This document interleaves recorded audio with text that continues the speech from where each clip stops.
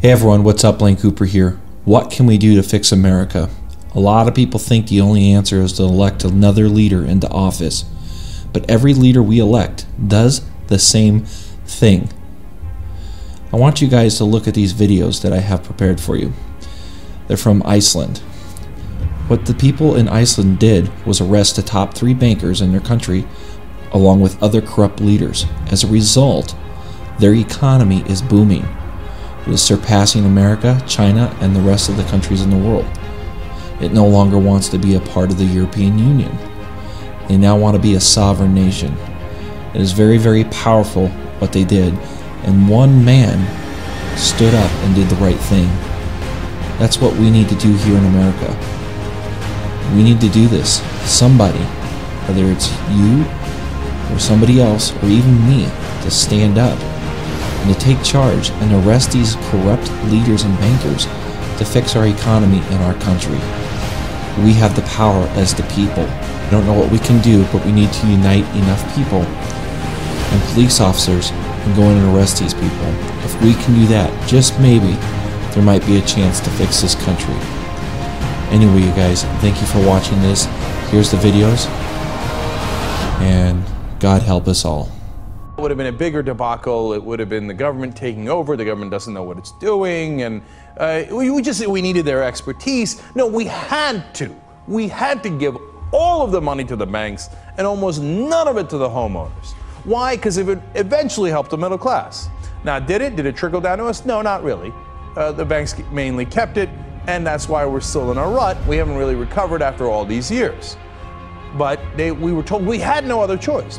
But that's interesting because it turns out there is another choice, and Iceland decided to pursue it. Back in 2008, they also had an epic collapse, and in fact, their banks defaulted on $85 billion. And especially for the size of Iceland, that is gigantic. So they had an enormous problem. In fact, their debt to income ratio back in 2008 was an unbelievable 240%. So the size of their problem was even larger than the size of our problem when you look at it per capita and proportional. So huge problem. Well, then obviously you need to make sure the banks are afloat, right? Otherwise, uh, they can't take the action that they need to take. Uh, here's what people of Iceland decided instead. No, we're coming for you. And not only did they have protests, but they were starting to throw rocks at the parliament building and saying, we're not going to take this crap. So instead, this is the route that they went. They indicted their uh, former prime minister, uh, Geir Haarde, who of course I have no idea how to actually pronounce his name. Sorry for all the mispronunciations. And then they decided, well, that's not enough, so let's go ahead and uh, arrest the former chief executives of the three biggest banks. So there they go. And over 200 criminal charges uh, for the bankers. Now, wait, we were told here in the United States, well, you can't do that. Oh, these are the bankers. You can't do that. You'll destroy their economy. In fact, not only did they do that, but the former CEO of one of their top banks, Landsbanki Islands, uh, got stints in solitary confinement. They Bradley Manning. We Bradley Manning people who are actually trying to expose what the government is doing wrong, they do it for people who actually destroy their economy. Who's more logical? Well, let's find out. So, uh, what was the result of all this? Well, uh, this is interesting. Um, they decided to to give actual relief to the homeowners. So what they did was they forgave debt exceeding 110% of home values. So if you were underwater and it was above 110%, they just forgave the, that portion of the debt. Now here in the U.S., that makes people in power's head explode. How could you, these irresponsible people, who the bankers who crashed the economy? No, no, no, I love those guys. No, the homeowners who got tricked by the bankers into taking these loans with exploding interest rates. No, we can never forgive them. But wait, Iceland did it, so we'll see how that turns out. And then uh, they had a loss equivalent uh, to 18% of the gross domestic product. The banks. Again, we were told, about it's 13% of GDP for the banks. What can you do? They don't do it. Don't do it. And the debt was relieved for more than a quarter of the population. Again, here they would say, no way. That's actually helping real citizens. That would be a death knell for the economy. Okay, interesting. So, how did it turn out? Oh, damn it. Look at this. In 2009, their economy tanked. Uh, it shrank by 6.7%. So, uh, I, I guess they were right, right? Iceland's economy uh, goes down in 2009 to 6.7, uh, down 6.7%.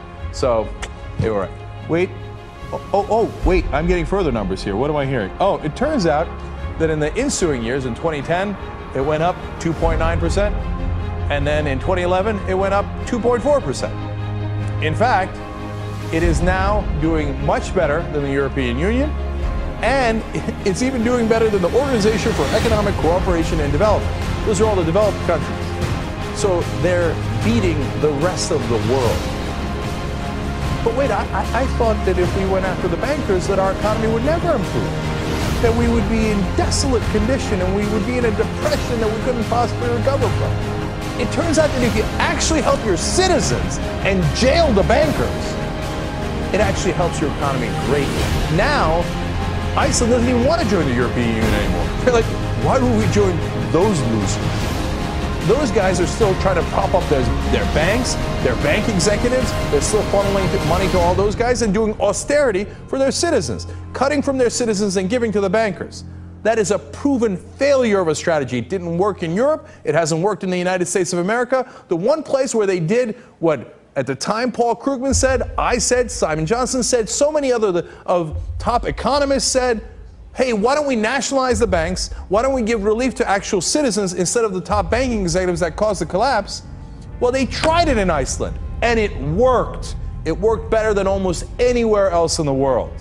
Finally, Fitch Ratings, which gives them, uh, you know, of course, the ratings based on you know, how well they're doing, how stable they are, etc., had to conclude at the end, quote, the unorthodox crisis policy response has succeeded. It was so unorthodox to actually give the advantage to the citizens rather than the bankers, but shockingly enough, it has succeeded. There is another way of doing it. Iceland did it, it worked. It would also work here in the United States. But since our politicians are corrupt and captured by those top banking and multinational corporation executives, we will not do that. Our politicians do not work for the population. They have no interest in helping the population. They work for the banking executives and all their other top donors. So don't let them lie to you and tell you, oh no, we have to help the bankers, otherwise there's no way to help the economy. It is the exact opposite of the truth. If you actually went after the bankers, you would help their economy.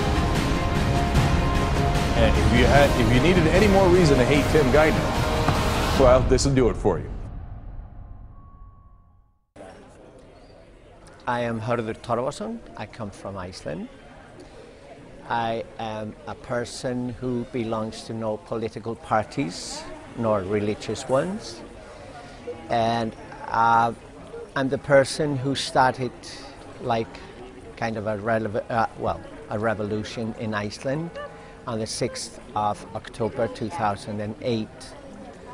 And I kept it running with three demands for five months. That is to say, we, we got away the government, we got a new government, and uh, people in high places that had been very corrupt we are all dealing with the same problem worldwide. This is a globalization of few companies and IMF. We are fighting for our lives. We have a choice. Either we accept these conditions or we fight it. We don't fight it with riots. We don't fight it with fire. We don't fight it with, with violence. To deal with the non-violence part, what I did in Iceland and they started throwing rocks at the police. But the people wearing orange walked in front and made a wall in front of the police to show we mean this. This was a very beautiful thing to do because people were throwing rocks. And, and I think in, in that part we won the heart of the police. We fight it with reasons, informations. We have the technology, we have the brains to do it, so let's do it.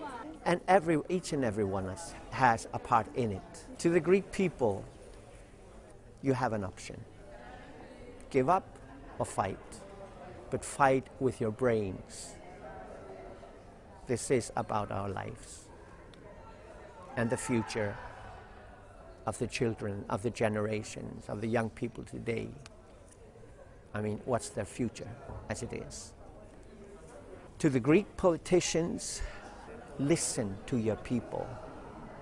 You are working for the people, not for your private situation. Greek people, all over the world, people are following what you are doing. We are aware of it.